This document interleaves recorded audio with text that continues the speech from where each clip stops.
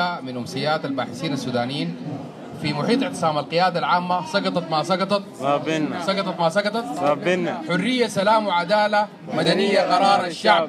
حرية سلام وعدالة والوعي قرار الشعب. يشرفنا جدا ويسعدنا انه يكون معنا الدكتور طارق أحمد خالد في محاضرة بعنوان دور اقتصاد المعرفة في زيادة إجمالي الناتج الإجمالي. فدكتور طارق يعني صديق عزيز واستاذ جامعي ومستشار في هندسة البرمجيات وعنده خبرة طويلة جدا في في البنوك. وأيضا هو السكرتير العام لمنظمة ال IEEE فرع السودان. وبرضه معنا بروفيسور شريف بابكر هنا ده هو الرئيس بتاع المنظمة. فنسمع ونتعلم من دكتور طارق وإن شاء الله تفيد الجميع. شكرا لك. تفضل يا دكتور.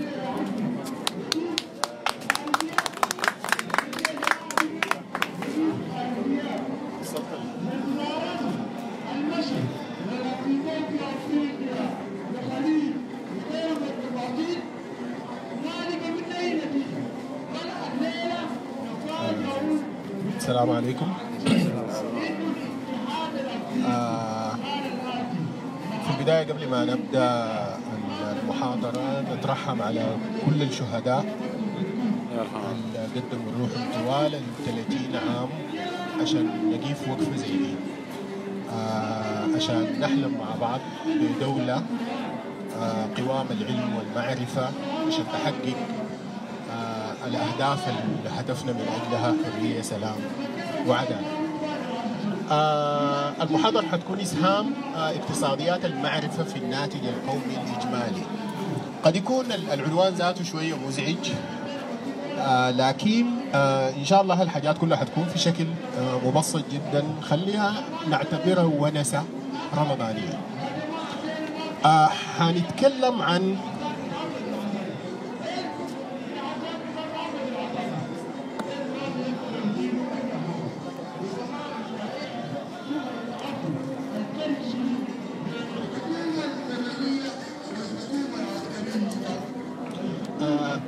ثلاثة مواضيع.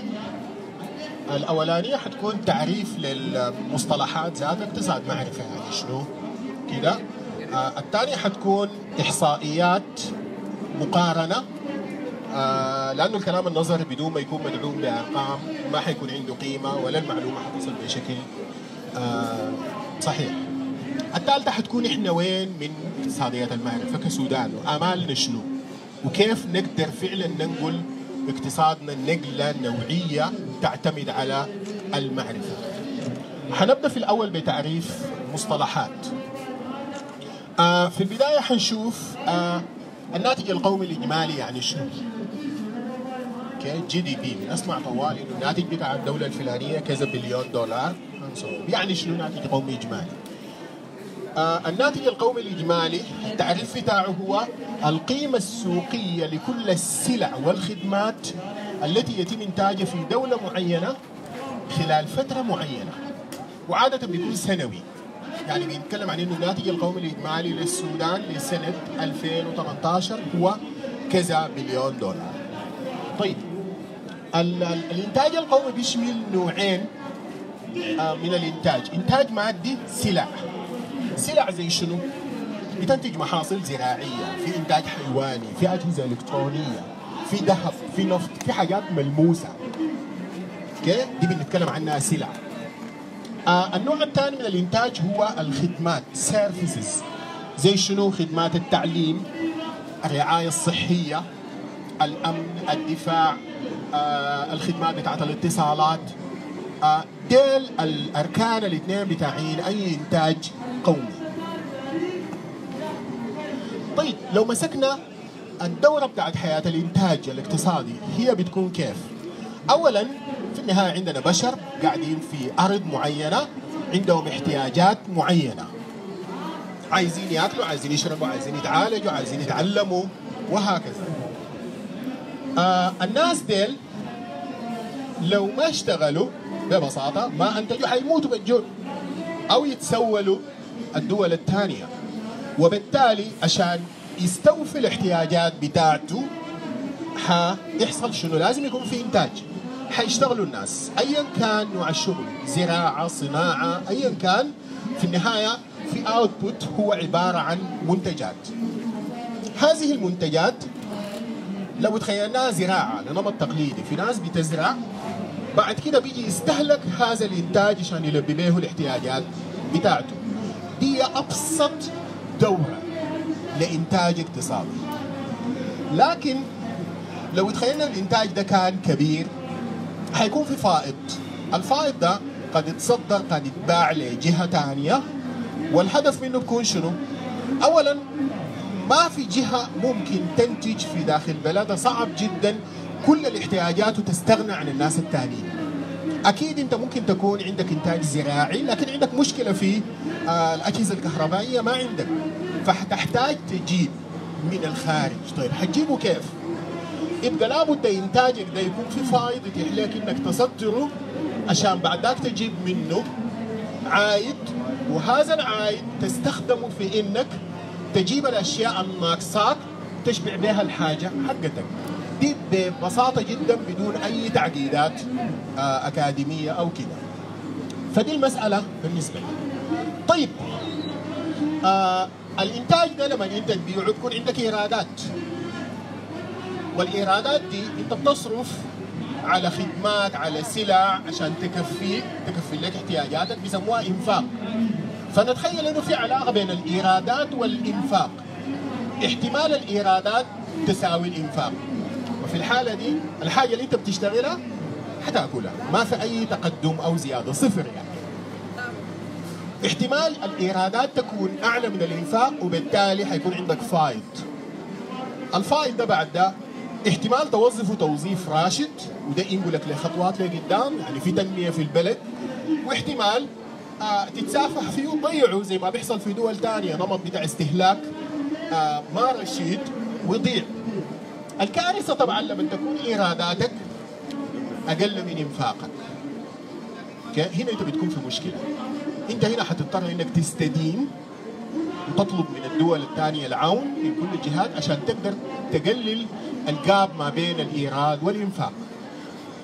لو كملنا الصورة عشان نشوف إحنا وين من الموضوع ده آه نواصل نقول.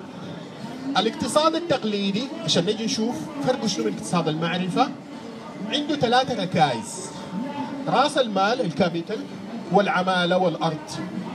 يعني ببساطة أنا عندي قروش بجيب أيدي عاملة مزارعين انصون عشان يزرعوا لي في حتة معينة أطلع العائد المعين. ده الاقتصاد التقليدي دي الأركان بتاعته. طيب هو وين من اقتصاد المعرفة؟ طيب اقتصاد المعرفة هو استخدام المعرفة اللي هي ناتجه في النهاية من تجارب الناس من البحث العلمي من خبرات الناس لإنتاج قيمة ملموسة. اللي هي السلع أو غير ملموسة اللي هي الخدمات. يعني ببساطة بس تبقى في قيمة مضافة. إذا أنا كنت بنتج سلع بضيف لها علم بدي قيمة مضافة. ببساطة شديدة لو تخيلنا إنه أنا عندي آه أرض كانت آه مساحتها فدان. بنتج لي إنتاج معين الفدان. بيطلع 3 طن. لو عملت أبحاث علمية وصلت لأنه أنا أضيف سماد معين أو أغير في الطريقة اللي أنا بزرع بها ونتيجة البحث العلمي اللي أنا عملته ده جيت طبقته والنتيجة كانت إنه الإنتاجية زادت من 3 طن إلى 10 طن. يبقى القيمة المضافة دي هي حاصل اقتصاد المعرفة ببساطة. أوكي؟ اثر البحث العلمي والمعرفة على الاقتصاد آه بجانبين سواء كان سلع أو خدمات. عشان نعمل الحاجة دي اقتصاد المعرفة عنده ركائز ثانية غير مسألة رأس المال والأيدي العاملة والأرض. عنده أربع ركائز اول التعليم لأن أنا محتاج لما نتكلم عن بحث علمي عن كده محتاج ناس متعلمين. والثانية هي الابتكار. إنه ما بس مسألة مسألة تعليم بس. مسألة إنه الشخص المتعلم ده يقدر يحول العلم بتاعه إلى إنتاج. إنتاج جديد. أفكار جديدة. سلع جديدة. خدمات جديدة. وبالتالي الركن الثاني هو الابتكار. الثالث هو البنية التحتية التقنية اللي بتتيح الحاجة دي. طيب أنا أبدع كيف؟ وأنا ما عندي معامل مثلا. كيف؟ حابدع كيف وما عندي شبكات بتاعت اتصالات أوكي فلازم يكون الثالثة هي بنية تحتية تقنية تتيح للناس إنها تمارس الإنتاج بتاع العلم والمعرفة. آه الرابع إنه لازم يكون في سياسات وقوانين تنظم المسألة دي. واحدة من الأمثلة البسيطة مثلا الحقوق بتاعت الإنتاج الفكري مثلا. لما أنا أقوم أنتج زول يسرقه ويعمل به حاجة ثانية بيبقى أنا آه بعد ذاك حعمل حسابي ما حنتج. Okay حتكون حاجة معوقة. Okay الجمارك الضرائب زي ما حنشوف لقدام. آه الدولة بيكون عندها سياسات وقوانين تشجع هذا الإنتاج المعرفي وتحميه. أوكي دي الأربع أركان اللي بتمثل اقتصاد المعرفة. حنجي نشوف بعد إحنا في السودان وين من الحاجات دي لقدام. طيب. آه حنخش في إحصائيات مقارنة والاحصائيات دي عايزين ندعم بها كلامنا اللي حنقوله عن قيمة اقتصاد المعرفة. هذه الإحصائيات من حسا أقول لكم هي مستفزة جدا ومؤلمة جدا لأنه حتكون مقارنة ما بيننا وما بين العالم. وأحسن نعرف موقعنا عشان نبدأ صح. ونشوف يمكن فرصة لك عشان تشوف بالأرقام ال 30 سنة دي وصلتك وين. طيب. ديل أعلى عشر دول على مستوى الناتج الإجمالي. اللي قبل قلناه قبل تتذكر قلنا مجموع السلع والخدمات القيمة السوقية حقتها. دي أعلى عشر دول آه، حسب توقعات 2020 وبالمناسبه حتى 2018 17 هي هي نفس الدول. بس كان في اختلاف في الترتيب. فبنلاحظ إنه آه، أقوى إنتاج هو الولايات المتحدة بعدها الصين اليابان ألمانيا الهند المملكة المتحدة فرنسا البرازيل إيطاليا كندا. ديل العشر الأوائل على مستوى الإنتاج. كده لاحظوا فين دولة عندها بترول آه. ما في. آه. دي حتة أنا حعيدها كثير إنه القصة يا أخوانا ما ما, ما بترول القصة علم okay؟ طيب. هنا دي التوقعات ل 2050 لو لاحظنا التوب 10 في قوة جديدة ما كانت موجودة هنا. دخلت وفي قوة طلعت.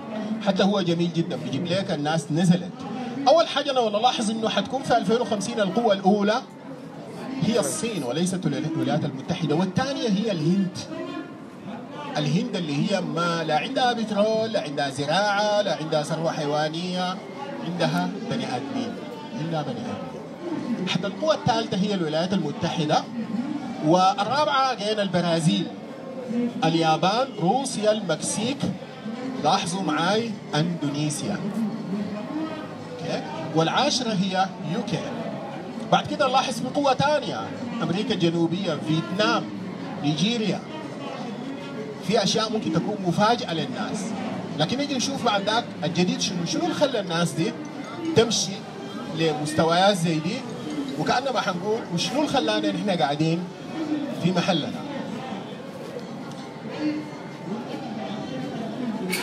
لاحظوا الدول دي ولاحظوا الدول الموجودة هنا في القائمة دي. يكاد يكون هم نفس الدول. هذه الدول هي أكثر دول العالم صرفا على البحوث.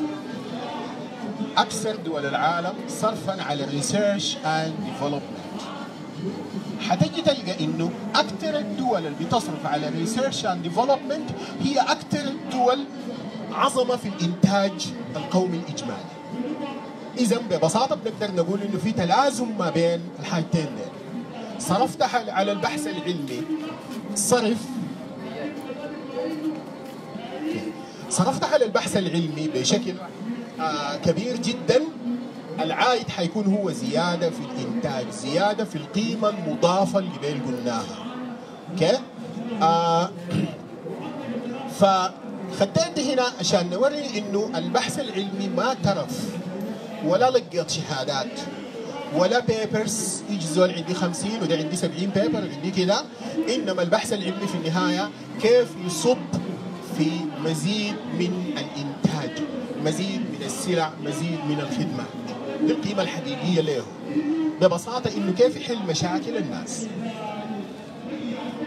طيب جمال قلنا واحد من الأركان المهمة جدا لإنتاج الإنتاج المعرفي الابتكار. والابتكار من أكثر المقاييس اللي بتتخطى له الآن هي عدد براءات الاختراع اللي بتطلع من دول آه ومن شركات. نمسك دي الإحصائية بتاعت أعلى عشرة دول. آه تقريبا هي إحصائية على مستوى آه 2017 طلعت. يلا لاحظوا الدول. آه نشوفها الصين عندها آه في 2017 928 ألف application لاختراع okay؟ نلاحظ بعد ذاك الولايات المتحدة اليابان كوريا الجنوبية الاتحاد الأوروبي European Patent Office نلاحظ للهند نلاحظ روسيا كندا البرازيل. لو لو من الدول دي دي حنلقاها الدول الصاعدة على مستوى الإنتاج القومي. إذا في تلازم واضح جدا. بزيادة الإنتاج القومي مقارنة مع زيادة الصرف على البحث العلمي. في واحدة من ديل دولة بتاعت نفط؟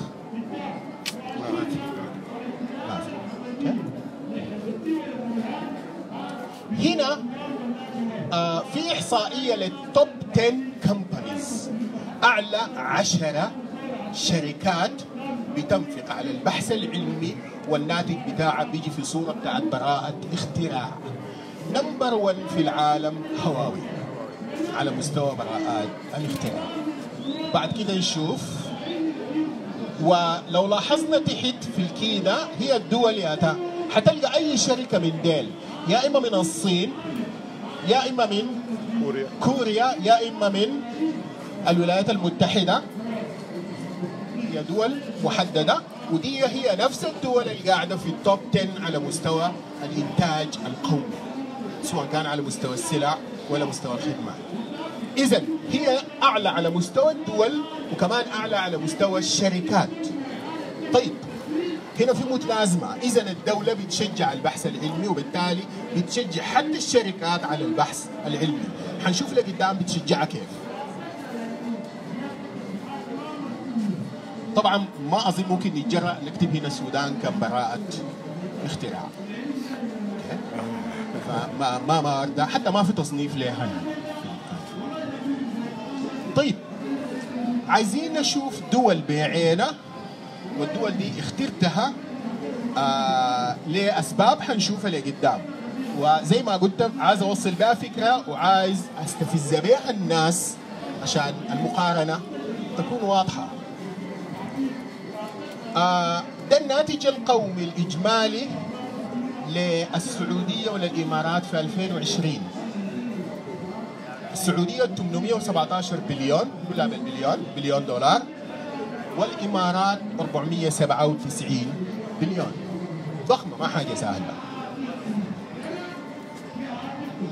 لكن كده خلونا نشوف دول. لا عندها بترول لا عندها حاجة. شوف الولايات المتحدة.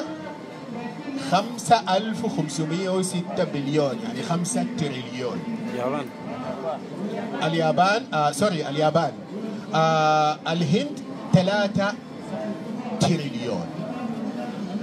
الهند. كده كم ضعف؟ السعودية.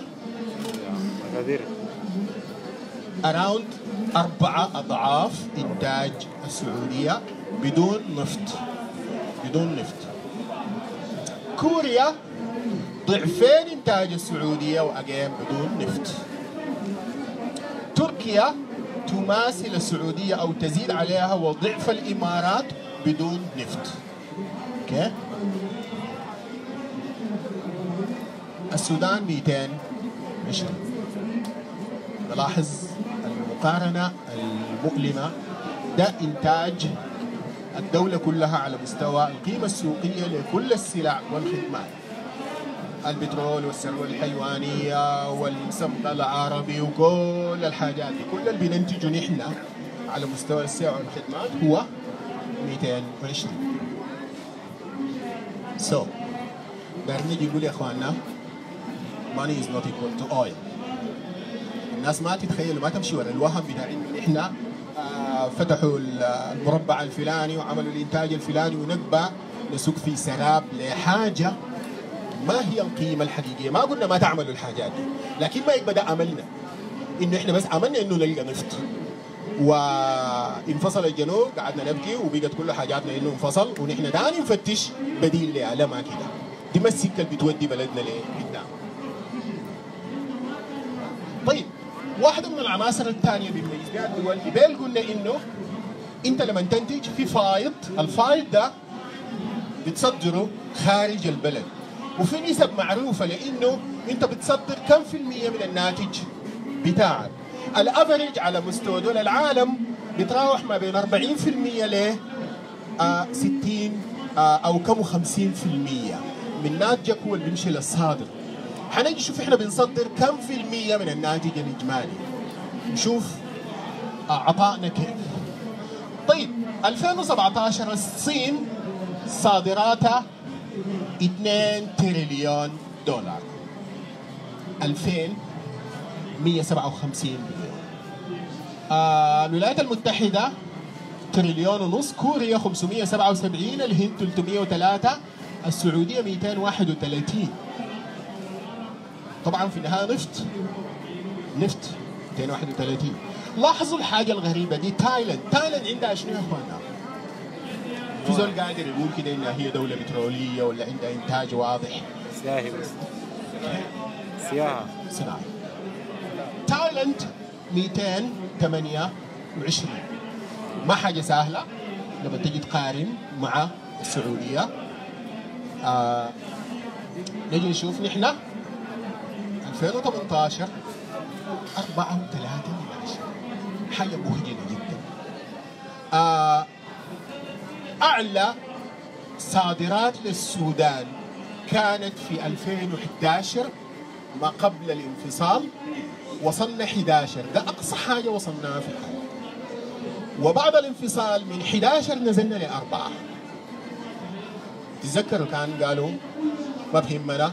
وما حيأثر علينا. وبنتذكر كل الجعجعة اللي اتقالت في نفس السنة نزلنا من 11 إلى 4 من عشرة ده الآن فايد حقنا. لما تقسموا على الناتج الإجمالي اللي هو قلنا قبل 200 بنلقى إنه نحن صادرنا بيساوي نسبته على الإنتاج بتاعنا 2% دي حاجة مخجلة جدا لما أقول لكم إنه الأفريج من 40 لكم 50% كل اللي عندك ده بيمثل بس 2% لاحظ كل الموارد الضخمة حقتك.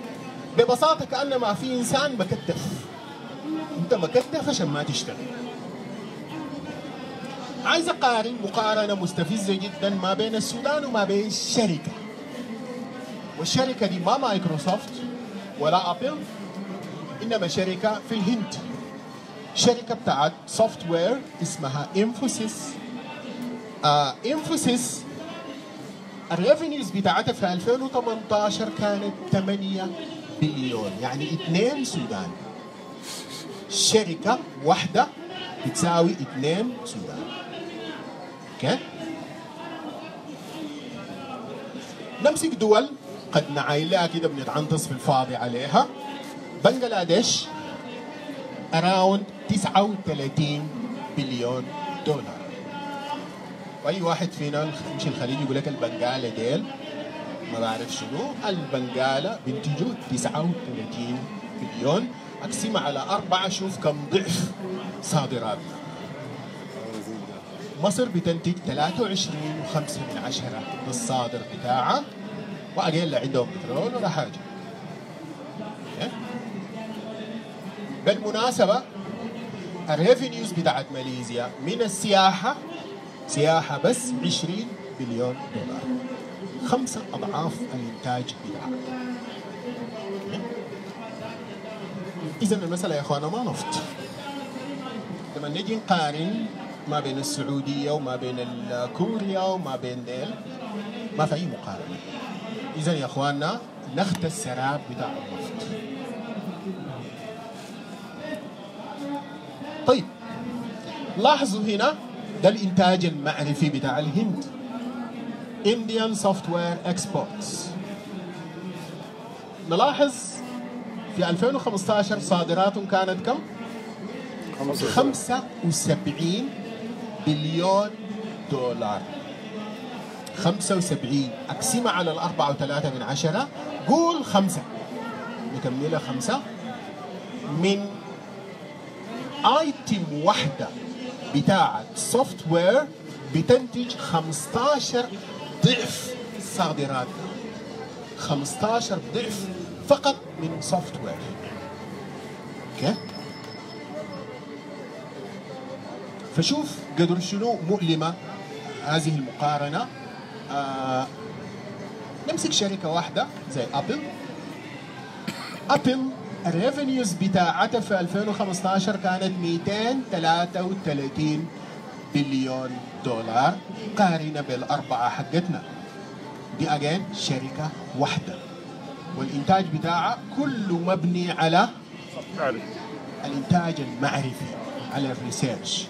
سواء كان software أو hardware okay طيب تعالوا نشوف إحصائيات محلية حقتنا. صادراتنا قلنا 4.3 من عشرة بليون. وارداتنا 8 من عشرة. شفت المأساة دي كيف؟ انت تستورد ضعف ما تنتج طيب بتجيبوا من وين؟ دين. من وين؟ دين دين. دين. دين طيب الدين ده سياسيا ترجمه لشنو؟ الدين. فقدان إرادة صح؟ ما عندك إرادة. ودوا اليمن تمشي اليمن. قوم تقوم. تقعد تقعد. كيف تعمل أي حاجة. الناتج القومي لو نتذكر 190 بليون. لو حاولنا نقسمه آه طيب نمشي للصادرات. آه عندنا الذهب واحد وستة من عشرة. أوكي؟ ده الأربعة وثلاثة. نتذكر يا أخواننا حتة مهمة بين قوسين. نتخيل بين قوسين. إنه رسميا إنتاج الذهب بتاعنا يتراوح تقريبا 96 طن. وفي كلام بيتقال إنه 200 200 لكن خلينا نقول الحاجة الاوفيشال 96 طن في السنة. وحنشوف بعد شوية مقارنة طريفة جدا. بس نتذكر إنه هو واحد وستة ومن عشرة. الرقم ده تتذكروا. النفط الآن 8 من عشرة. طبعا بعد فقدان النفط بتاع الجنوب. الإنتاج الحيواني تقريبا 9 من عشرة بليون والإنتاج الزراعي واحد. أوكي؟ ده كله شغلتنا 72% من صادراتنا بس لأربع دول. أول ما نذكرهم بعد كده يلا شوف أحداثك الآن السياسية اللي حوالينك منو اللي قاعد يضغطك الآن؟ منو الآن بيمنع إنها تتحول لمدنية؟ لاحظ لها in terms of business. ديل الناس اللي انت ده, ده, ده الفضاء حقك. دي خياراتك الآن ذات مينز عشان كده لما نتكلم عن ال- الانتاج معرفي ما مفصول من السياسة يا إخوان الكلام ده ما مفصول من السياسة. لما يكون سقفك في صادراتك وإنتاجك بس لديل بعد ما تجي آه تفسير واضح وما محتاج لأي ذكاء.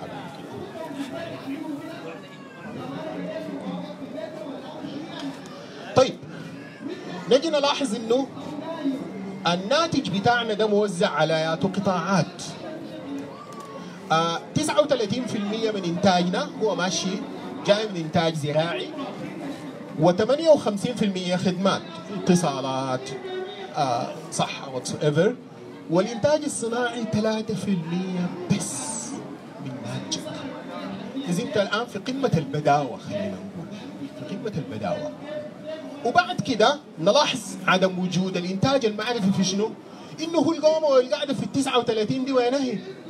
هذه واحد كل القيام القائمة دي وإحنا أحسن دولة في الصمت العربي والكلام ده كله في النهاية هل واحد دي؟ الثروه الحيوانية الضخمة اللي بنتكلم عنها وبنتباهى بها. يا هل بوينت 9 ما في حاجة. ما عندنا أي حاجة. منتهى الفقر. مع إنه أنت عندك موارد. لما تيجي تمسك بالجنبة الثانية الموارد ضخمة جدا ويكفي الموية. اللي هي تكون عماد الحاجات دي كلها. لكن مع ذلك الإنتاج بتاعك ضعيف جدا. طيب. نبدأ نقارن في حاجات نتذكر إنه مساحة هولندا قدر مساحة الجزيرة؟ قدر مساحة ولاية الجزيرة. تذكر الحته دي كويس طيب. هولندا بتصدر زهور ب 3.6 من عشرة بليون. زهور فلاورز العروض التقى في البحر زهور بس 3.6 من عشرة قارنة بالأربعة حقتك أولموست ياها يعني إنتاج زهور. طماطم واحد وثمانية من عشرة يساوي الزراعة والزراعة والحيوان بتاعنا دم. لاحظوا هنا دم. بيصدروا دم الدم سواء كان دم بشري أو دم حيواني. يتم تعقيمه وبيحصل له packing بطريقة معينة وبيصدروه لدول. يعني زي بنك الدم. okay للبشر ولا الحيوانات هولندا بتصدر دم 13 بليون. ثلاثة أضعاف إنتاجك القومي دم. لاحظ ال innovation بتاع الناس إنه دي ذاتها ما صناعة تقليدية يا إخوان. بيبقى لازم تشغل مخك إنك في حتت ممكن تجيب منها ما في زول شايفها ما في زول بينافسك فيها.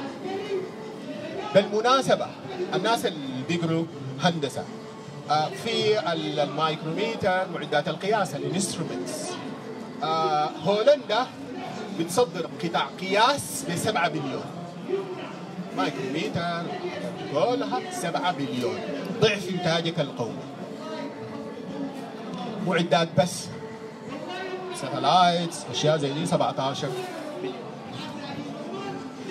بالمناسبة أنا أخذت items بس الناتج الإجمالي بتاعهم مش الناتج الإجمالي sorry الصادرات بتاعتهم 526 بليون آه الجميل فيهم هو التنوع الكبير جدا في المصادر يعني ما تعتمد على حاجة واحدة تعتمد على النفط عشان الجنوب ينفصل وتكون تقع. يبقى لازم تنوع. فنلاحظ التنويع ده وما في واحد فيهم ذاته بيقارب ال 526 فنتذكر إنه الإنتاج الزراعي في الآيتمز دي يعادل إنتاجك أنت قارن المساحة بتاعت هولندا بمساحة السودان. هنا دي القيمة المضاعفة بتاعت المعرفة. إنه الإنتاجية حقت الفدان ممكن تكون 100 ولا 200 ضعف إنتاجية الفدان بتاعك لأنه في مراكز بتاعت أبحاث شغالة في زيادة الإنتاجية. وفي علم الوراثة وفي كمية من الأشياء اللي بتقوم تدي قيمة مضافة للحاجة اللي بيعملها زي ما أنت بتعملها. okay؟ نمسك تايلاند قبل قلنا. تايلاند الانتاج بتاعها 215 لكن مسكت items again بغرض الاستفزاز خلينا نقول. آه تايلاند بتبيع مكيفات بتاع التبريد 4 بليون دولار. مكيفات بس بكل انتاجك بما فيه هجليج وبما فيه. تايلاند بتصدر integrated circuits ب 12 بليون دولار. مصانع بتاعت integrated circuits بتصدر معدات مكتبية ب 13 بليون دولار.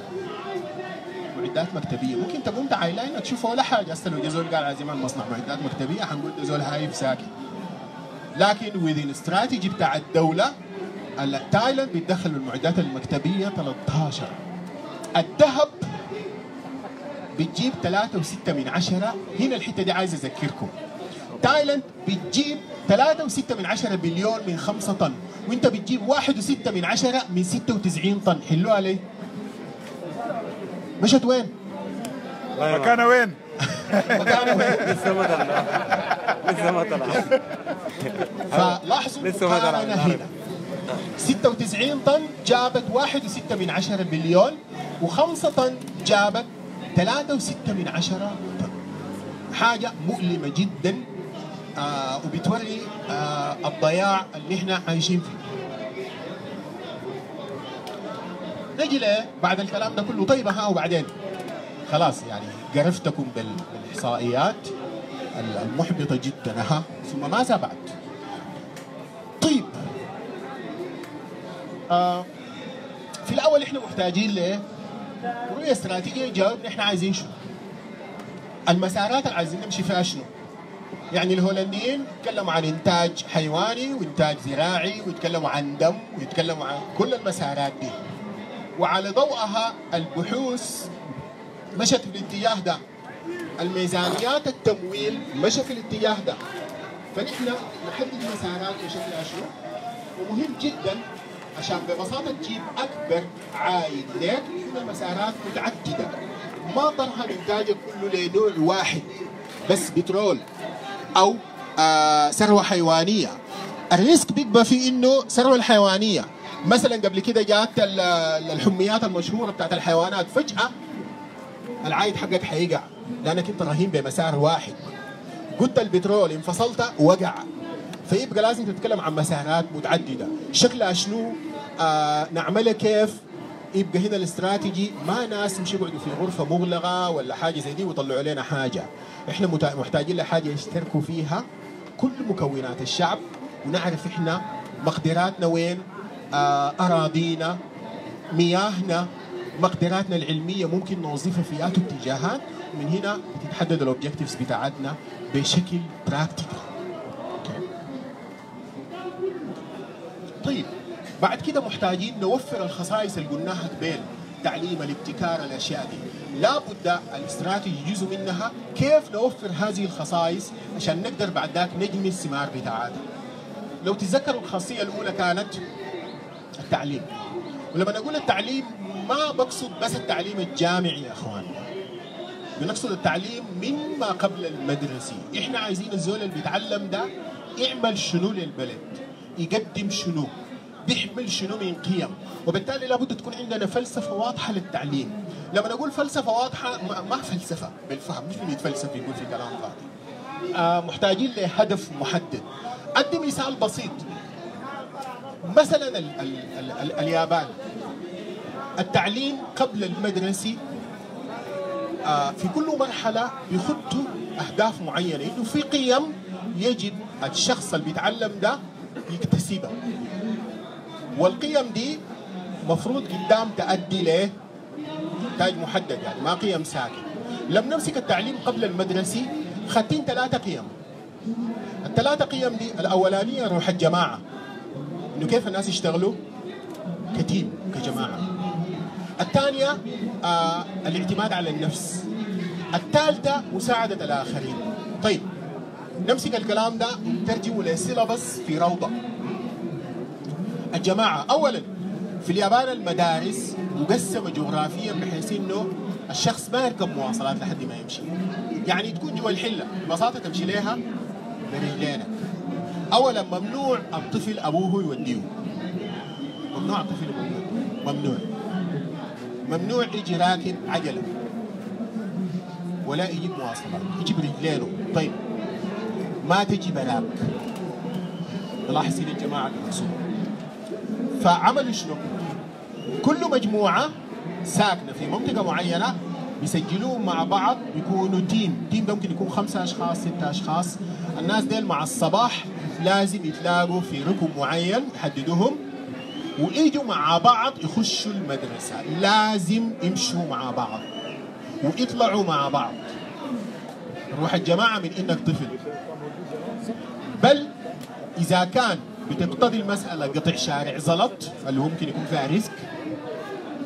بيقوموا يعملوا team leader لاحظ الأطفال ال team leader ده بيدوه آه العصاية بتاعت بوليس الحركة بيكون فيها نور أحمر ديك. دي عهدة للطفل ده. بيمشي بيقف في شارع الزلط بوقف العربات.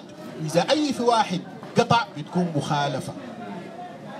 بيقف يقطع الناس اللي معاه وشرطا هو يقطع آخر زول. لاحظوا القيمة في الطفل ده.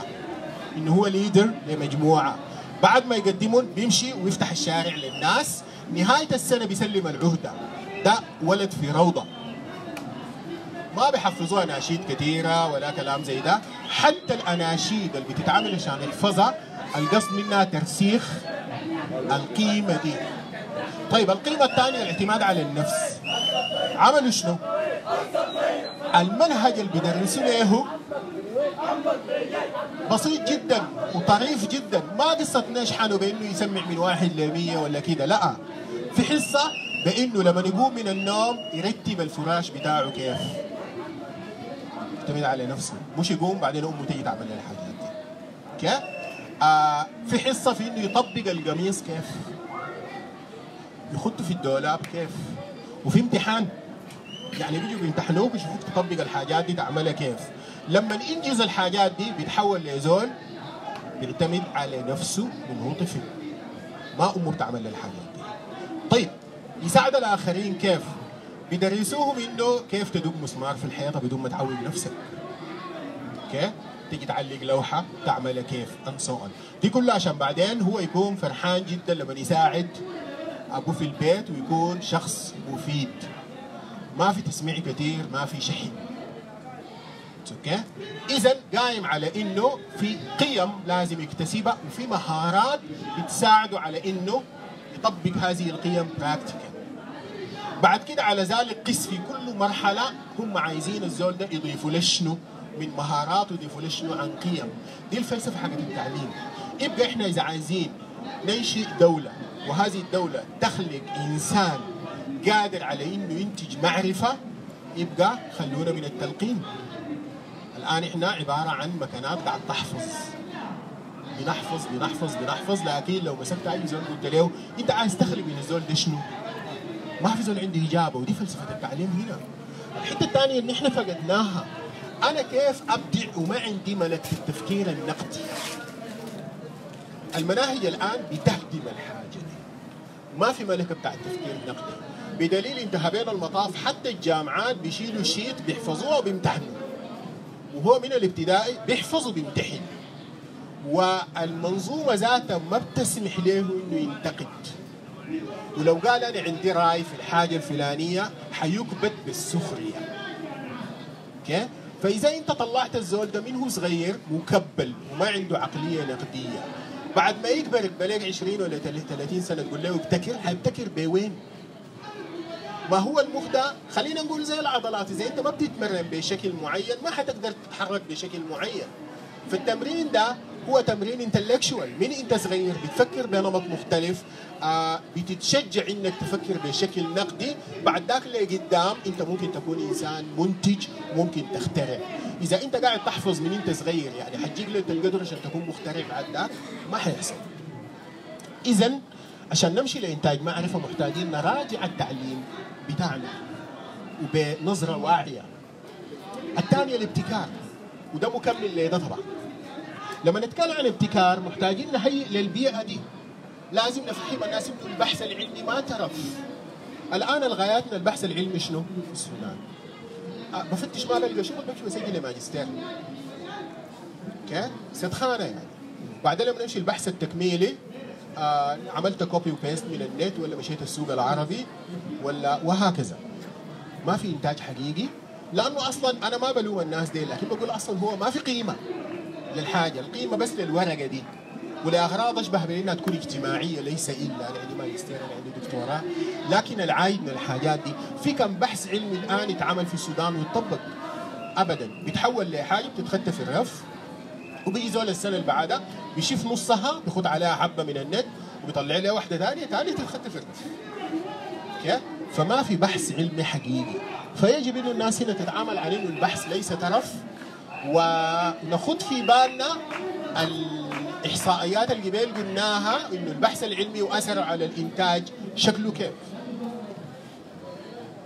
آه من الحاجات المهمة اللي بتطور الأبحاث دي قدام العلاقة المدروسة ما بين المؤسسات الأكاديمية والمؤسسات المهنية. لو مسكنا أمريكا ولا أوروبا بتلقى إنه ميزانية الجامعات للبحوث أغلبها جاية من وين؟ جاية من الإندستري، جاية من الشركات. الآن عندنا جاب ضخم جدا. الناس في ال industry بيعاينوا للناس دي الناس منظراتية ساكت ونحن ما شغالين بيهم والناس اللي قاعدين في المؤسسات الأكاديمية ممكن يكونوا شايفين الناس دي ناس بيخرمجوا ساكت. أوكي؟ فلا بد تكون في علاقة مقننة وطيدة جدا لإنه ال industry والمؤسسات الأكاديمية عندهم هدف محدد وإنه التمويل بيجي من ال industry هذه العلاقة هي اللي ممكن تخلق ابتكار. أوكي؟ بعد كده الثالثة هي البنية التحتية التقنية. بنية تحتية لو مسكنا مثال آه مثلا محمد بن راشد قبل فترة كان حصل الصفقة بتاعت ال acquisition بتاعت شركة آه كريم. Uber لما اشترت كريم وقبالها أمازون اشترت سوق dot com.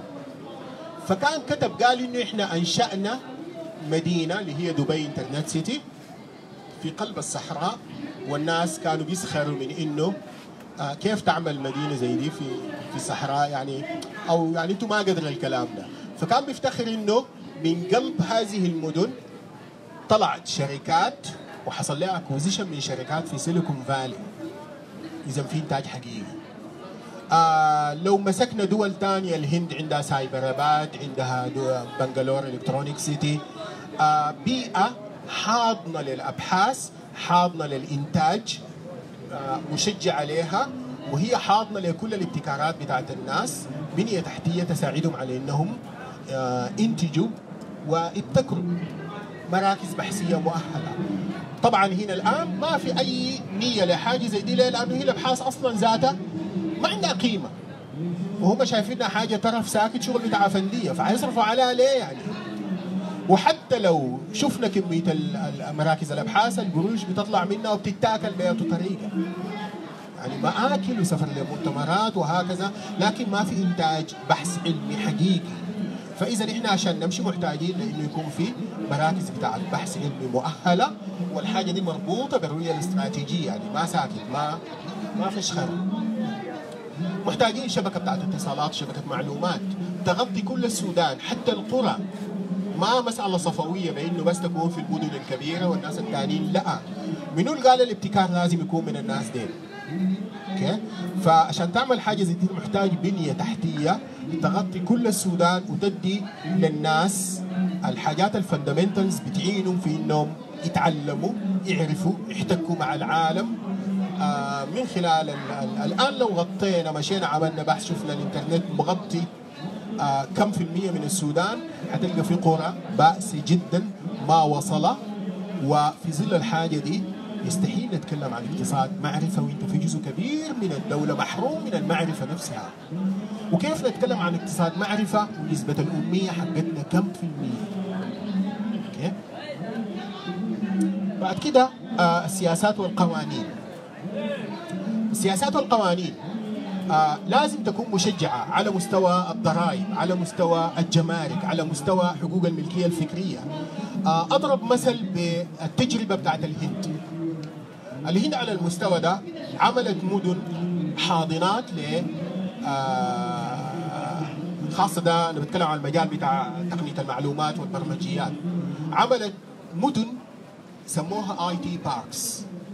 شكل المدينة شنو؟ مجموعة من العمارات.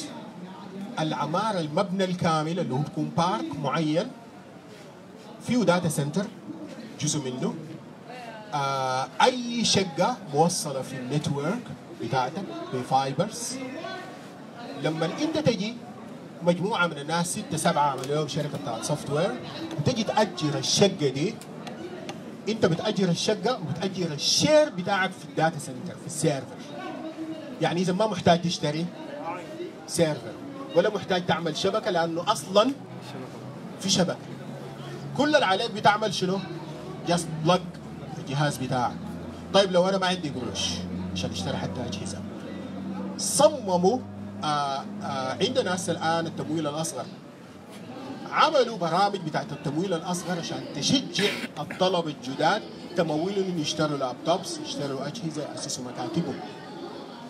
وعملوا أسعار زهيدة جدا في الإيجار يعني كان في دعم. والدعم اللي جاي من الشركات الكبيرة وجاي من من الدولة برضه في فندس للناس دي. بعد كده الشركات الكبيرة أغروها انه إذا دربت الخريجين الجدد بتاخذ قصاد الحاجة دي إعفاء ضريبي. فشركه زي إنفوسيس قبل قلناها زي تاتا آه بيستضيفوا الخريجين في برامج معمولة بمناهجها بل بعضهم بيعملوا داخليات للناس. بتخشوا بتتدرب بشكل منهجي جدا بيختار جزء منهم بعينهم. الباقيين ديل بفكهم في الشارع للناس بيمشوا يعملوا بعد ذاك شركاتهم أو الشركات الأصغر هي بتقوم آه تعينهم وهكذا. طيب مقابل الحاجة دي بيكسب شنو؟ صح جزء منه هو عبارة عن مسؤولية مجتمعية. لكن اسهامه ده بيلقاه هناك في شكل بتاع إعفاءات ضريبيه إذا في قوانين بتدفع الناس دي إنها تعطي. تساعد في الحاجة. دي بعد كده إذا أنت أنتجت إنتاج بتاع software وصدرته للعالم قصاده again بتاخذ إعفاءات في الضرائب. عكسنا نحن. يوم يوم تجيب زيادة تنضرب زيادة لحد ما في النهايه تقعد في الوطن وتطلع من السوق. لكن هنا جبت زيادة حنشيل منك أقل. ليه؟ لأنه دي زيادة في الصادرات وزيادة في الناتج القومي. وبالتالي شوف شجعوا الناس إنه يصدروا لحد ما وصلوا لإنه صادرات ال software 75 بليون دولار. نلاحظ إن Infosys ثمانية ده كله إنتاجه جوا وبرا. يعني لو قلنا عالميا ستة ستة بس من ال 75 ال 75 دي فيها آلاف الشركات الصغيرة اللي بتصدر بحاجات صغيرة لكن الإجمالي هو هذا العدد الضخم. لأنه في دولة في vision في استراتيجي بتشجع هذا الإنتاج. من أجمل الحاجات اللي عرفتها إنه الشركات الصغيرة اللي بتيجي تأجر في ال IT parks دي لما قروش تكتر ما بقولوا نستغل الحاجة دي بيرحلوا. يمشوا يأجروا في أماكن تانية بيدفعوا قروش عشان يخلوا الخانة دي ليه؟ لشركة صغيرة جاية. شوف الجانب الأخلاقي في الموضوع. ما بيقول إنه والله أنا خلاص أعمل نايم على ال- الحاجة المدعومة دي. بيطلع بي- بي- بيخليها لجهة تانية بتجي ولما تكبر هي ذاتها بتخلي. أوكي؟ ف اذا عشان تعمل الأشياء دي لازم يكون في سياسات على مستوى الجمارك على مستوى سياسات التمويل على مستوى الضرائب على مستوى القوانين اللي بتحفظ للناس دي ملكيتهم الفكرية. انت بتخلق بيئة مساعدة لهذه الأشياء. اذا قلنا لابد يكون في رؤية استراتيجية لابد يكون في توفير خصا- خصائص اقتصاد المعرفة الأربعة.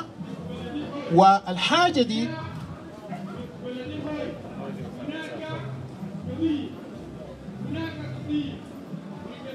آه بتخلينا يبقى عايل لرؤية جديدة لاستخدام العلم والمعرفة. ما شهادات ولا آه افتخار بس. الواحد بيجيب الشهادة عشان بعدك يبقى وزير ويقولوا عليه فلان. محتاجين لرؤية حقيقية لقيمة العلم والمعرفة. محتاجين العلم والمعرفة يكون عندها بعد اجتماعي. أنا بتعلم عشان أخدم هذا المواطن عشان المجتمع يكون عنده في إمباكت على المجتمع. آه ضربت أمثلة بسيطة لأمثلة لناس وظفوا علمهم أدوا البعد الاجتماعي. كمثال لريادة الأعمال الاجتماعية ومشهور دكتور محمد يونس هو من بنغلاديش. آه، عمل الدكتوراه في أمريكا في الاقتصاد وجا راجع بنغلاديش وفكر في الشغل بتاع التمويل الأصغر. هو رائد التمويل الأصغر في العالم. وكان في innovation في ابتكار. أسس البنك اللي اسمه جرامين وجرامين كان واحد من أول البنوك واكبرها المتخصص في التمويل الأصغر. وظف علمه لعمله في ال PhD وال research بتاعه لخدمة المجتمع. والبنك ده استطاع إنه يقدم قروض وصلت إلى 11 بليون دولار. دولة. دولة تساوي ثلاثة أضعاف السودان. okay؟ إذا عملناها بالنسبة بتاعت الصادرات هذه القروض غطت 80 ألف قرية. شوف ال impact. وما كانت بس تمويل. كان كل قرية الناس اللي بياخذوا التمويل بيكون منهم جمعيات. كان بيعلمون النظافة بيعلمون آه، في تطعيم في شغل بتاع تطوير اجتماعي. ملاحظ الآن هو هنا. قاعد وسط منه. قاعد وسط نساء في المجتمع. النساء ديل هم الناس اللي كان قدم لهم تمويل في قرية معينة. فأي تمويل يتقدم لقرية بيتحول إلى عمل اجتماعي يطور مستوى تفكير الناس الموجودين ديل ويعلمهم قيم جديدة. ده شخص وظف العلم بتاعه لخدمة المجتمع. فده مثال لريادة الأعمال الاجتماعية. في مثال ثاني لريادة الأعمال البحثية اللي هي إنه مشاريع البحث العلمي تتحول لبرودكتس تتحول لمنتجات إحنا بننتهي من المشروع بس عشان أكمل واخد الشهادة وبعدك ما بشتغل بيه ما ملام كله كله لأنه أنا ما عندي البنية بتاعت اقتصاد المعرفه في البلد. لكن لو مسكنا آه، جامعات خارج السودان بنلقى حتى ال syllabus ذاته بقى بشجع الحاجة دي. آه، أنا اشتغلت ال PhD في ماليزيا كان جزء من الكورسز اللي أنت بتعملها اسمها IT commercialization and entrepreneurship ومطالب زي ما بتقدم ال thesis بتاعتك تقدم business plan بفرضية إنه لو الحاجة دي تحولت ل product ده حتمولها كيف؟ حتعمل شنو؟ ما بالضرورة أعمل الكلام ده لكن هو القصد انه إنه يدوك المعلومات الكافية اللي بتمكنك إنك تحول شغلك ل product لو مسكنا جامعات في أوروبا في أمريكا في مصطلح بيسموه spinning off companies spinning off companies يعني شنو؟ يعني إنه مجموعة من الطلبة أو من الأساتذة الباحثين لما خلصوا ال research بتاعهم say عملوا براءة اختراع عملوا أي حاجة بيكونوا الشركة المنتج بتاعها قايم من داخل هذا ال research. okay بالتالي بقى عنده قيمة اقتصادية وبقى عنده قيمة اجتماعية لأنه حيفتح كم وظيفة بعد ذاك حيكون دوره في المجتمع كيف؟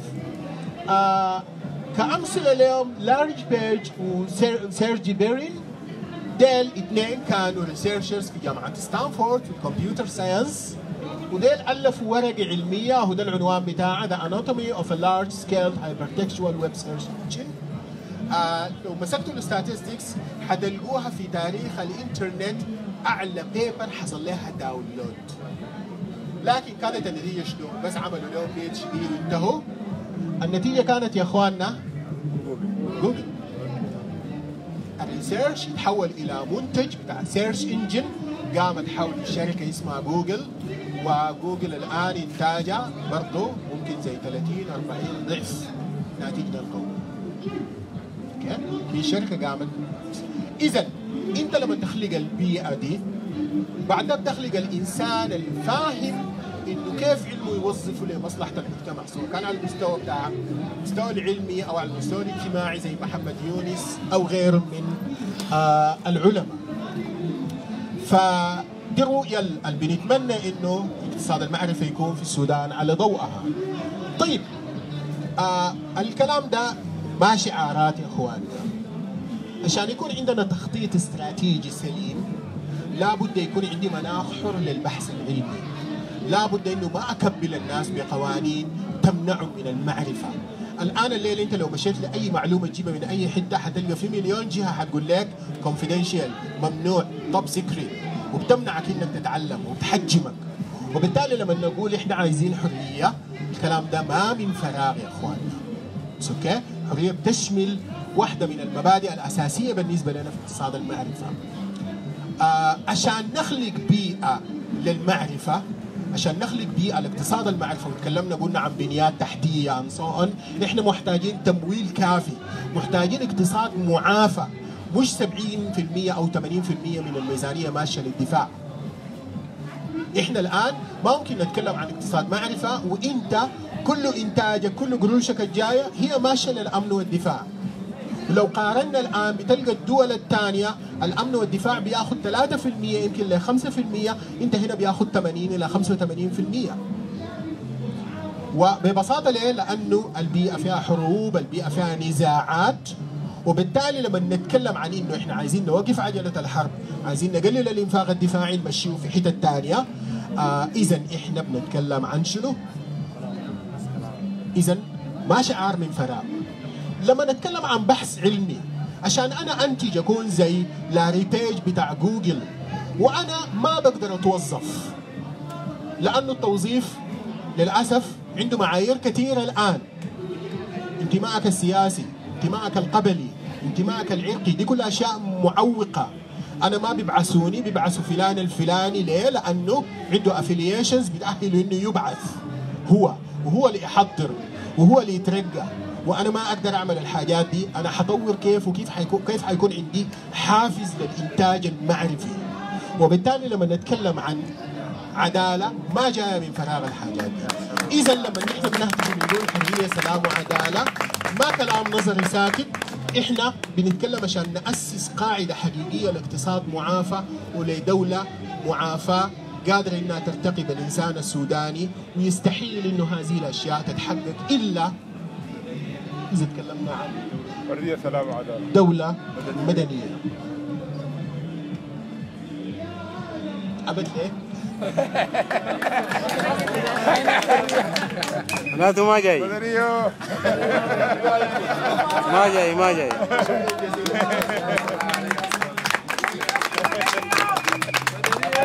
مدنيو نشكر جزيلا الدكتور طارق أحمد خالد على المحاضرة القيمة. صراحة استفزانا. ورانا إنه يعني في شركات ممكن تكون أكثر من السودان والبرهان وحميتي والدعم السريع وجبل عامر والجوطة دي كلها يعني. فنفتح الباب للأسئلة يا شباب. أنا طبعا أول سؤال بقوم بوجهه له. زي ما استفزانا ده نستفزه. طيب يا أخي أنتوا الأساتذة بتوعون الكهرباء يقعدوا الخرطوم بيجوكم أشطر ناس الأوائل بتوعون الشهادة السودانية وبتاع. ليه الكلام ده؟ المفروض المفروض المفروض ليه عملتوا عندكم أنتوا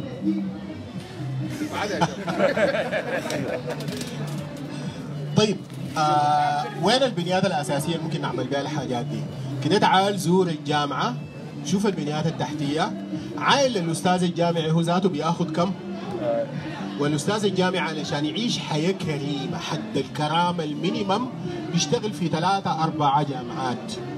طيب لما يكون منهك هو بيدرس في كل الجامعات دي اديني زمن بيعملوا للبحث العلمي. وين؟ ما في ما في زمن للبحث العلمي. واحدة من إشكالاتك عشان تحقق حاجة زي دي أنت محتاج الأساتذة ده يكون في حد. أنا بيعجبني مصطلح حد الكرامة.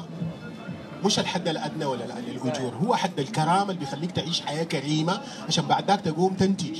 فإذا ما توفر ما توفرت الحاجات دي ما ممكن يكون في إنسان لاهس عشان يعيش وتقوم تقول له وين الإنتاج بتاعك وين البحث العلمي شباب مداخلات اسئله مجانا آه بالنسبة لل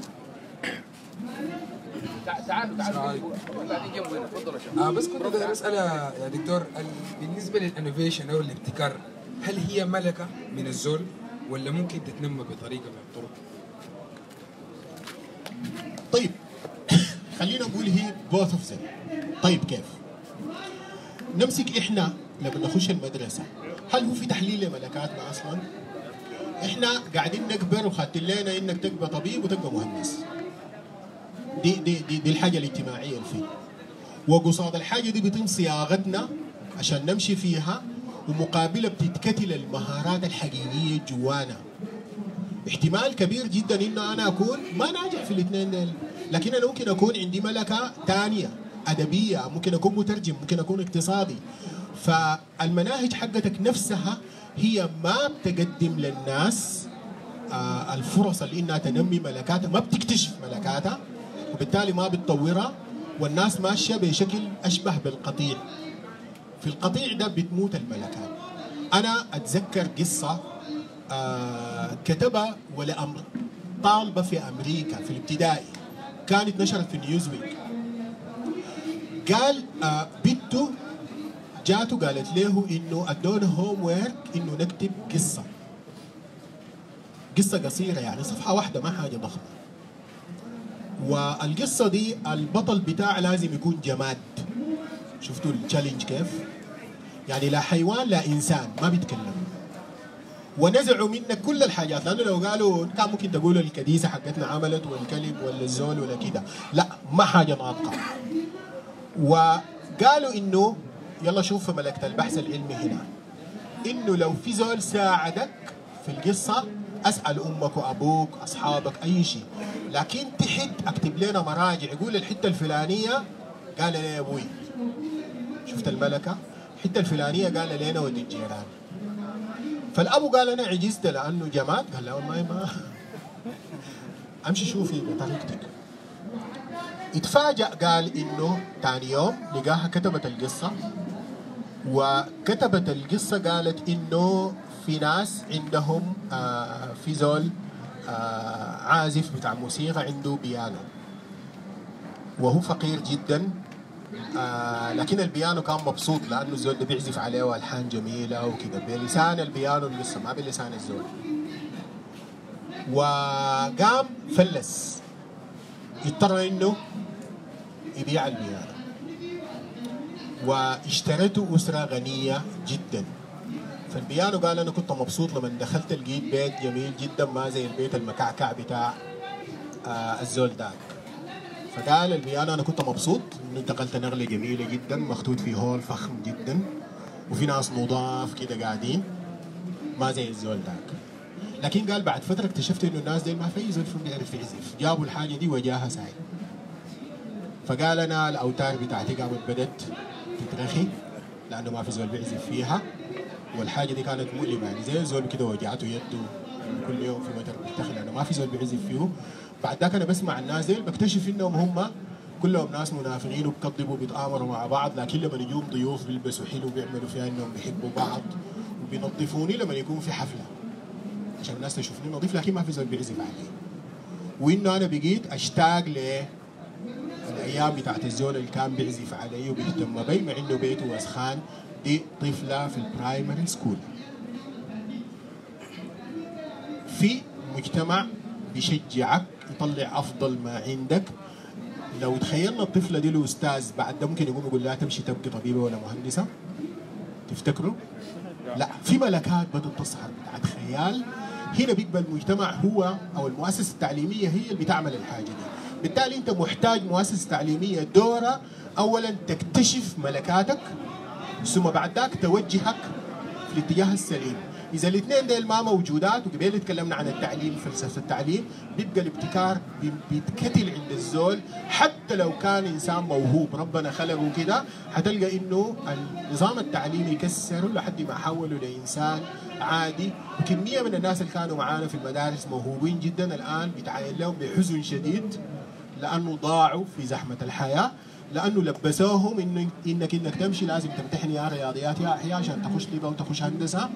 وبهذه اللعنة ضيعت كل الملكات اللي كانت عندهم. أي مداخلة ثانية يا شباب ولا كده؟ تفضل. آه، بسم الله الرحمن الرحيم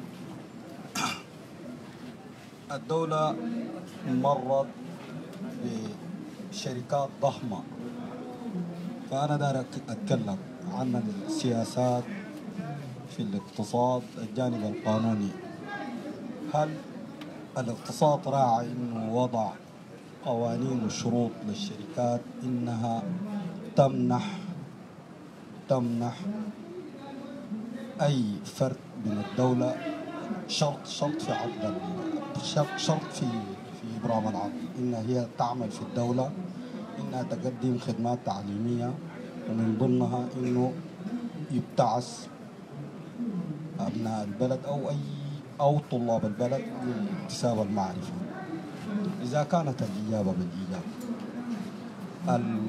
النظام البائد هل كرس هذه الفرص لمحسوبية معينة أو أبناء مسؤولين؟ عايز إجابة.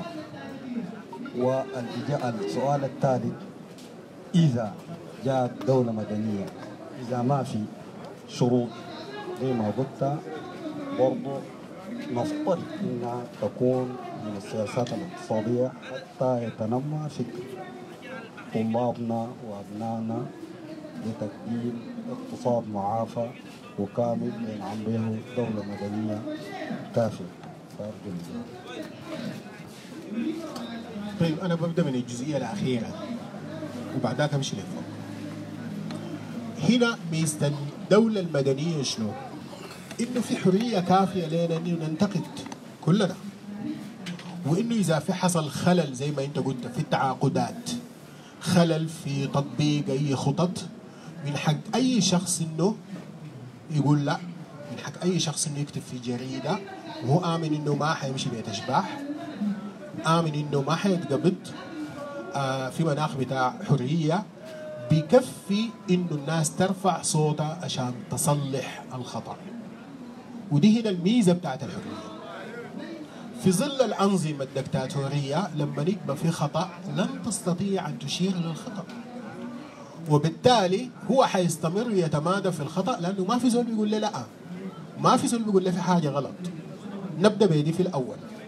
إنه ضمانه لإنه الحاجات تمشي لقدام إنه الناس عندها صوت إنها تقيم وتقوم. ولو استدعى الأمر أنت ممكن تجي تطلع مظاهرات ولو استدعى تجي تعتصم هنا. لكن في ظل نظام دكتاتوري ما بتقدر تعمل كده. وبالتالي الخطأ بيستمر وبيتم التغطية عليه. دي أول حاجة. طيب بالنسبة للنظام البعيد أظن كلنا شفنا اللي بيتقال عن التعاقدات. اولا هو ذاته كان في vision في استراتيجية إنه أنا لما اتعاقد عايز شنو من الشركات دي؟ ولا هي المسألة فيها commissions و و ال- أنا بستفيد شنو؟ كشخص أو كتنظيم بغض النظر عن الدولة. طيب حتى لو قلنا ده ما في في ظل عدم وجود vision بيبقى الناس بترتكب أخطاء لأنه التعاقدات ما بتكون آه وفق رؤية محددة. لكن اللي عايز أقوله شنو؟ بيبقى التعاقدات هنا بتعتمد على ياتو جهة على ياتو أشخاص موجودين. قد تكون في جهة معينة لحسن الحظ الشخص اللي فيها شخص مؤهل. في نفس الوقت نقول إنه قلبه على البلد. في الحالة دي بتلقاه إنه ممكن تكون النتيجة إيجابية بقدر ما متاح. من مناخ بيسمح له إنه يقدم حاجة. آه أما الشكل الغالب ابدا. التعاقدات في الأغلب كلها في مناخ فاسد. آه الأساس منه كان هو رشاوي فساد آه ممكن نحكي قصص كثيرة جدا عن مشاريع فشلت آه، أو مشاريع قامت عشان الناس تقوم تسافر البلد الفلانية. وياما شفنا ناس سافروا لكورسات وهو بكون عمره خمسين سنة والكورس أصلا معمول للباحثين الشباب. لكن لأنه البحث المؤتمر كان في لندن وهو عايز يمشي لندن. بيمشي ولما يلقى الناس كلها أولاد صغار بيخجل يخش المؤتمر. لكن بيمشي يتحاوم بيمشي بيعمل شوبينج بيمشي السوق. والأهم من ده إنه هو ضيع فرصة ل لشخص كان مفروض يمشي في الحتة دي. آه فإذا أنت تتكلم عن دولة العقود مبنية على نظام فيه المفاسد واضحة آه ما عنده استراتيجية نظام بعين، الناس نفسهم بيسفرهم للدورات دي نتيجة محسوبية نتيجة قرابات نتيجة affiliations سياسية أو قبلية. ما أظن نتكلم بعد ده عن إنه والله العقد عشان يقوم يعمل لنا knowledge transfer ولا يقوم يفيد البلد زي كده. و ممكن يوم نجي في sessions نتكلم عن projects بعينها هي عبارة عن فضايح يعني. دائما لما ندرس كورسات بتاعت project management قاعد أقوم أعمل ال definition بتاع المشروع. انه في النهاية زمن عنده مشروع عنده بداية وعنده نهاية. في زمن محدد. وطوالي بسأل يا اخواننا في زول فيكم عارف مش- مشروع سندس حينتهي 200 بدأ وين وانتهى 200 ده ده مثال. يعني ده مثال بسيط جدا لشكل الفساد الموجود في المشروعات اللي عندنا في في يكاد يكون كل القطاعات. وبالتالي نحن لما نتكلم عن الدولة المدنية هو القصد منا إنه الحاجات دي قاعدة تحت الشمس ببساطة شديدة. تحت تحت الشمس ما في ال- المكاتب المغلقة اللي إحنا ما شايفين فيها حاجة. لما تكون تحت الشمس بعد كده الشخص اللي بيرتكب الخطأ حيلقى في مليون زول بيقول له الحاجة دي خطأ والسيستم هو اللي بيتولى تقويمه ببساطة شديدة. أتمنى أنه أكون جاوبت الحاجة. بطريقة تفضل.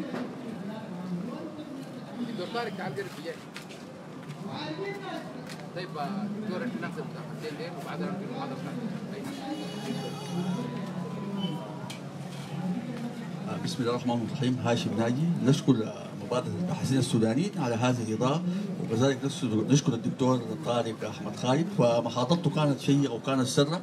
وخلتنا نحن يعني نحس إنه كان كان السودان عاي- عايش خارج الكرة الأرضية يعني. اقتصاد المعرفة واقتصاد. كلام يعني كان يعني كلام يعني ده زي الناس أنا- يعني أنا في السودان في العصور بتاعت العصور عصور الاسره والصورة الزرامية. وهو طبعا جاي من العصر بتاع التنوير يعني بتاع أوروبا. وشكرا له ويعني أتمنى له التوفيق وربنا يحفظه يعني. من الناس الحاسدين دي يعني. طيب آه في البدء أنا ده أسأل. يعني ال ال ال ال ال انت قلت ال- ال- اليابان يعني من صغير و يعني يمشي البلد صغير يتعلم له حاجة يعني إحنا في السودان عندنا العقل الابوي العقل الابوي يعني أنت لا وثانيا نحن كلنا كده مجتمع رعوي زراعي ونشأنا على ال على الط... ال- ال- السودانيين دائما الطائفية أو الطوائف.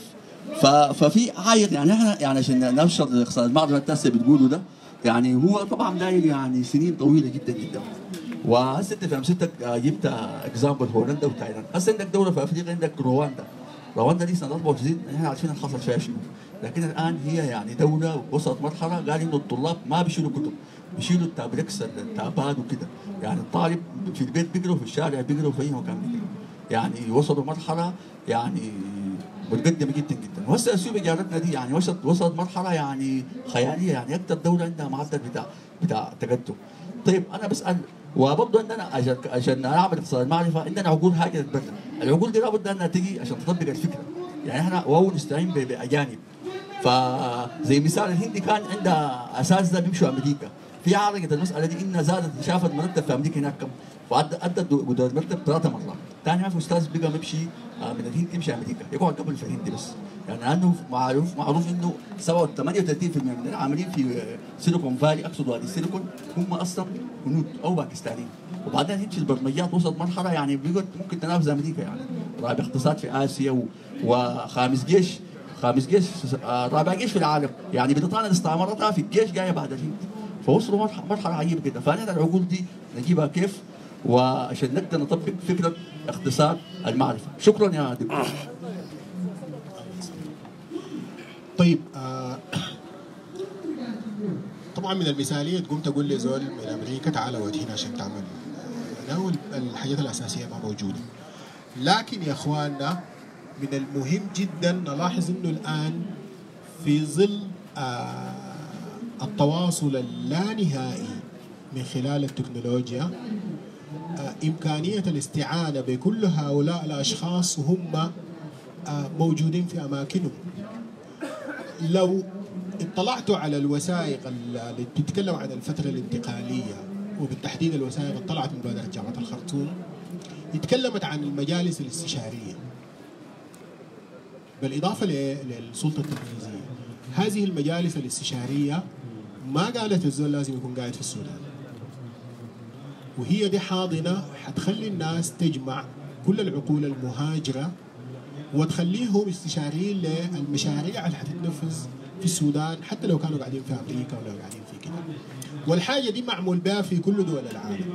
أذكر قبل آه كم سنة؟ خمس سنوات كان عندنا أستاذنا آه بروفيسور أسامة عثمان عوض الكريم درسنا في الجامعة. آه هو موجود الآن في أمريكا وهو الآن آه ماسك قسم قسم اسمه التعاون العلمي في وزارة الخارجية الأمريكية ك ك كأمريكي يعني. فجا قدم في السودان محاضرة كان عن نانو تكنولوجي ومشيت زرته في البيت كان في بيته. وفتحت موضوع اللي قبل كنا عايزين نعمل لنا زي جمعية كده بتاعت knowledge transfer وما تمت يعني. فعلق بأسى كان بيقول إنه هو ماسك آه، حاجة اسمها ال federal research institute of nanotechnology هو المدير بتاعه. والطاقم التحته اغلبه كان هنود وصينيين. قال كل هؤلاء الناس اللي هم juniors بالنسبة له ماسكين مشاريع في بلدهم. و even في بعض منهم عندهم جوازات دبلوماسية حقت بلدهم. الواحد فيهم بيقعد كل شهرين بيكون خطف له ثلاثة يوم مشى الصين مشى الهند لأنه آه في تاسك مفروض يعملها. في خطة مفروض يطلع عليها. في بحث مفروض يناقشه. كلهم مربوطين ببلدهم. قال الوحيد الحاسس إنه مقطوع من شجرة أنا. وهو الهيد بتاعه. وفي النهاية آه بقى بيمشي وين؟ بقى بسوق الهنود بيسافر الهند بيعمل projects هناك آه، بيعمل testing لل laboratories بتاعت nanotechnology and فمستفيدين منه. أصلا ما دام أنت قاعد ساي فأحسن نستفيد منك. فالناس اللي معاه ساقوا. فإحنا عندنا كميات كم- كم هائل من العقول اللي هناك. هي أصلا مهاجرة لأسباب إنه ضاقت بها الدولة هنا فإحنا عايزين نخلق آه، قنوات تواصل معاهم عشان نستفيد منهم. بعدين لقدام لما تبقى آه، في تطبيقات حقيقية وخلق مناخ ملائم ممكن تحصل هجرة عكسية. لكن الآن الناس ما حتتكلم عنها. ما حنكون حالمين نكون واقعيين. كيف بس نخلق قنوات للاستفادة من الناس الأوتسايد وكيف نقدر نخلق ترابط بيننا وبين العالم الثاني؟ ما يبقى في عداء. قبالك لما خطيت صادراتنا مع كم دولة داير أقول لك ده إحنا زي المسجونين. يعني أفقنا كلها هالدول دي. ما عندنا حاجة مع باقي العالم. فكيف نخلق القنوات دي؟ كيف يكون في exposures كيف يكون في آه زي ما زمان كان في منح آه في علاقات بتاعت exchange بين الطلاب. آه نخلق بيئة استثمارية تسمح للشركات دي إنها تجي السودان. الهند استفادت من شنو أصلا؟ خلقت بحكم إنه الأيدي العاملة رخيصة في الهند فتحت بيئة بتاعت out سمحت لمايكروسوفت تجي الهند سمحت لاي بي ام تجي الهند لكل الشركات الضخمة دي. لما يجوا بيستفيدوا من الناس دي لكن بيحصل شنو؟ بيحصل نقل للمعرفة. فبعد شوية أنا ب- ب- بتعلم بعد شوية بشب بعد ذاك بيبقى عندي شركات حقاتي وبعد ذاك بنافسهم. فيبقى كيف نخلق نحن بيئة جاذبة للشركات دي؟ انها تجي السودان. لكن ما تجي بالعقود إياها بتاعت نفس العقليات الزمان. لابد نخلق اولا يكون في شفافية كاملة للحاجات دي بتتم كيف ويكون عندنا زي ما قلنا هدف استراتيجي. إحنا عايزين من الناس دي شنو؟ عايزين يضيفوا لنا شنو وبعد ذاك بنبدأ جراديولي نجني ثمار الحاجات دي. السلام عليكم. أول حاجة يعني أنا لي مده ما استمتعت بمحاضرة زي محاضره الليل. والله يديك العافية رب. آه بس داير اعلق تعليق بسيط على قبل حتة ال- الإحصاءات اللي أنت آه، أخذتها.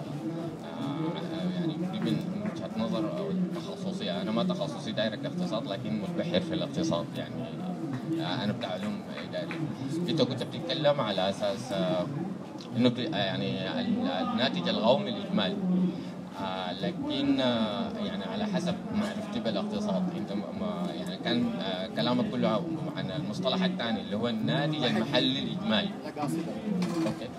فإذا مثلا آه، يلا أنت مستبعد مثلا الاستثمارات الأجنبية الموجودة في البلد. إذا أنت بتتكلم عن الناتج القومي الإجمالي. دي مستبعده ده غير الاستثمارات بتاعت السودانيين أو المواطنين السودانيين أو كل المداخل اللي هم بدخلوها. مفترض برضه تستبعد من الحتة دي. آه، دي بس داير الفت النظر يعني عشان ما يحصل conflict بين الناتج المحلي الإجمالي والناتج القومي الإجمالي. آه، ال- الحاجة الثانية داير أطمنك. يعني أنت بتقول إنه مثلا في غياب. أنا شخصيا أنا عامل business في مجال البحث وتقديم الاستشارات. آه، لكن برضو آه، واجهتني مشاكل اللي هو قبل كلامك عن السياسات والقوانين. آه، يعني ده غير إجراءات تسجيل اسم ال- ال- العمل في المسجل التجاري ومشاكله. كان في شرط آه، موضوع يعني أنا ما أعرف السياسة أو القانون ده الوضع إنه أنت عشان تقدم خدمة استشارية آه، في مجال لازم تأخذ موافقة اولا من مجلس تنظيم بيوت الخبرة والدراسات الاستشارية. فلما مشيت لهم اتفاجأت بإنه كل المجلس ده آه يعني ما أعرف أنا مشيت أنا زول بتاع business آه حتى النظام الأساسي موضوع وإدارته موضوع يعني من حتة يعني من وجهة نظر هندسية. يعني زي شركات الاستشارات الهندسية الشغل بتاع المقاولات ده. يعني حتى النظام الأساسي بتاع. في حين إنه آه نحن في ال business عندنا يعني كمية كبيرة من الدراسات. حتى دراسات بتاعت business يعني مثلا دراسات الجدوى دراسات آه، أبحاث السوق ما مضمنة. أو ما يعني حتى زول الخط النظام الأساسي بس خطاه من from يعني engineering perspective فدي برضه واحدة من النقاط اللي داير اضيفها لنقاطك إنه في مشكلة كبيرة في السياسات والقوانين. يعني الاستشارات مفهوم الاستشارات آه، حتى المجلس المختص بالجهة دي بينظر لها بوجهة نظر بتاعت إنه engineering يعني الشركة بتاعت استشارات إنه في مبنى آه، المقاول ويجوا هم يعني المفهوم بتاع الاستشارات الهندسية. في حين إنه آه، موضوع الاستشارات ده بحر يعني في عالم البزنس آه، فالنظام الأساسي بتاع الجهة المخول لها إن يعني هي جهة تنظيمية. هنا يعني تصدر وتنظم المجال ده بس في الجانب الهندسي. حتى النظام الأساسي موضوع على ال- الأساس ده. بالإضافة لدي يعني أنا أقدر أقول لك إنه مثلا أنت قبل بيكون في affiliation يعني قبلية أو جهوية أو سياسية أو انتماء سياسي. آه، ده بيقود لأنه حتى في affiliations مهنية يعني. يعني آه، وأنا ما داير آه، أقول إنه يعني مرات بسبب آه، ال- هو في النهاية الموضوع موضوع. معرفه وغياب معلومات. يعني في النهاية أنت لما تيجي تخط آه، إطار معين أو نظام معين ما تخطه بجانبك اللي بتراه فقط. يعني في مجالات تانية مفترض تستصحبها ولو كنت استشرت كان ما كان بيضطر يعني النظام الأساسي بتاع مجلس تنظيم بيئه الخبرة والاستشارات ما كان بالشكل. آه، دي بس النق- النقاط اللي حبيت أوضحها. طبعا يعني أنت هبشت حتة جميلة جدا يعني يمكن بس ما كان الوقت بي- بيكفي أول هدف من ال... مش بس بيوت الخبرة ومش بس هي background هندسية بالمناسبة لا في التحديد هندسة مدنية. حتى الكلام ده نحن قاعد نشتكي منه على مستوى المجلس الهندسي. التعريف حتى بتاع مهنه الهندسة. الليلة لو جيت تسجل الآن لمهندس أخصائي ولا لمهندس عشان تترقى لمهندس استشاري ولا كده الطريقة الموضوعه بها مثلا أمشي عامله يقول لي أدينا مشروع واكتب ال bill of quantities طيب أنا ما مهندس مدني. يعني اقوم اكتب bill of quantities كيف يعني؟ فالشخص العمل ال format دي ذاته والعمل قانون تنظيم المهنة هو جاي من background جوا الهندسة لكن صاغ كأنما الباقيين كلهم بنفس الطريقة. فإذا كان إحنا جوا مهنة الهندسة قاعدين نشتكي ما بالك أنت؟ أوكي؟ فيلا هنا عايزين نتكلم عن إنه آه زي ما قبل قلت برضه لو الناس اطلعت على الشغل اللي تقدم آه خلال الفترة الانتقالية في مراجعة للمجالس المهنية. يعني إنه سواء كان المجلس الهندسي المجلس الطبي كده المعايير بتاعاتها بعدين أنت مطالب إنك تشوف تجارب الناس في العالم ما تخترع العجلة.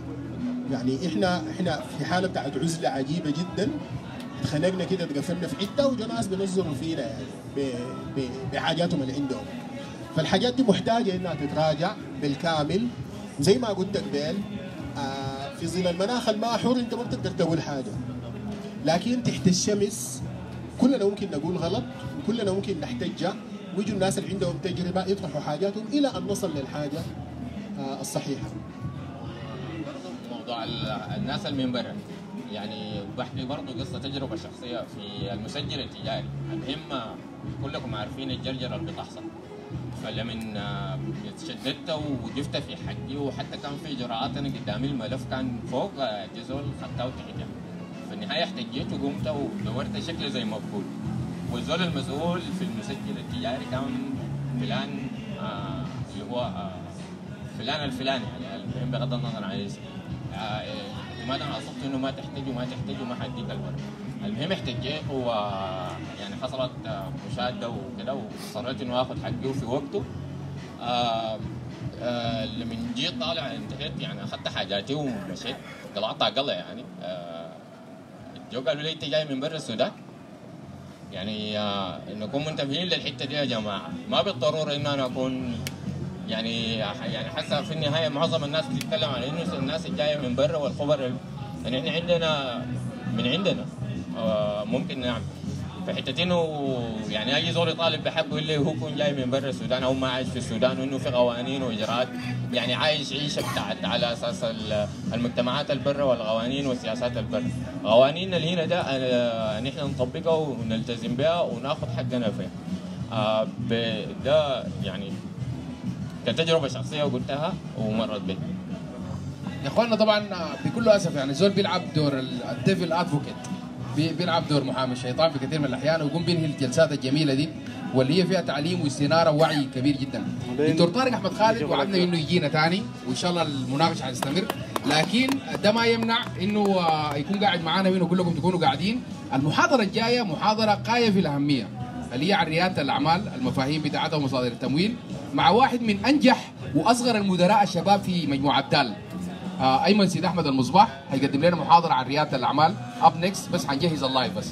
شكرا جزيلا دكتور طارق يا أخوان. اديه صفقة كبيرة جدا. شكرا لك شكرا لك.